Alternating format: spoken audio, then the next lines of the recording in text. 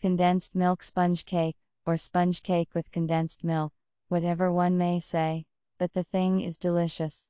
Almost a full fledged cake with a filling of sweet condensed milk and walnuts.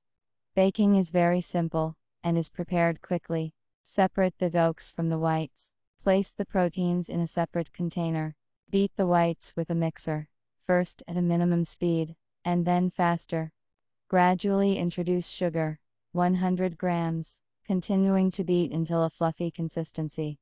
Beat the yolks with 100 grams of sugar. Add a third of the proteins, mix. Fill in the sifted flour, add the remaining proteins. Knead the dough. We cover the split baking dish with parchment. Pour out the dough. Bake the sponge cake in the oven for 35 minutes. The temperature is 180 degrees. Cool the sponge cake and cut into 3 cakes. Mix the chopped nuts with condensed milk. Smear each cake with this mixture. We form a cake. We put it in the refrigerator for 1 2 hours. Bon appetit!